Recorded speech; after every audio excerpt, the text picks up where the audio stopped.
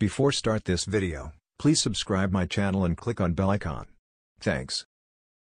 The portable and inexpensive storage technology addresses a ubiquitous problem in nanomanufacturing and materials science laboratories and is described in a paper published this week in the American Chemical Society journal Nano Letters. VOCs are in the air that surrounds us every day, said study corresponding author Daniel Preston, an assistant professor in Rice's Department of Mechanical Engineering. They cling to surfaces and form a coating, primarily of carbon.